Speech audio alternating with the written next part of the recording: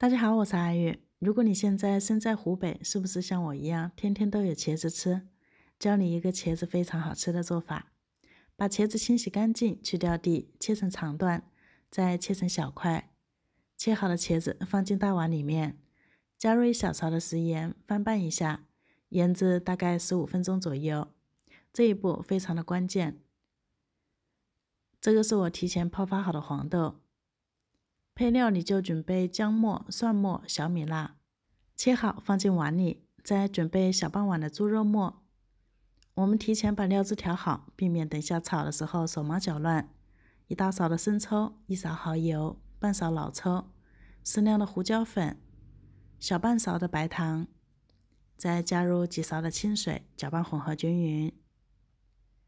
茄子已经腌制好了，把里面的水分给挤干。我没有洗，直接挤的。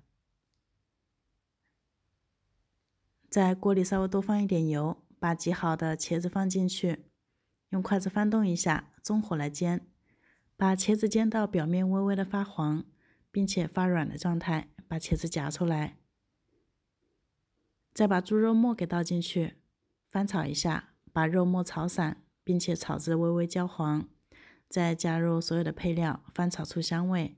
加入一勺的黄豆酱，再翻炒一下，香味炒出来之后，再把黄豆给倒进来，把黄豆表面的水汽给炒干，再倒进砂锅里面。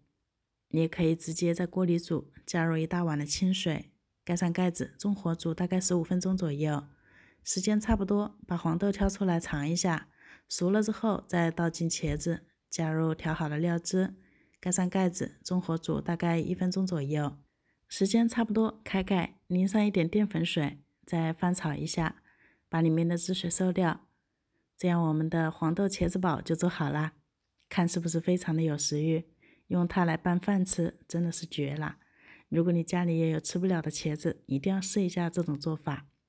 喜欢的朋友收藏起来，赶紧的试着做一下吧。感谢观看，我是阿玉，拜拜。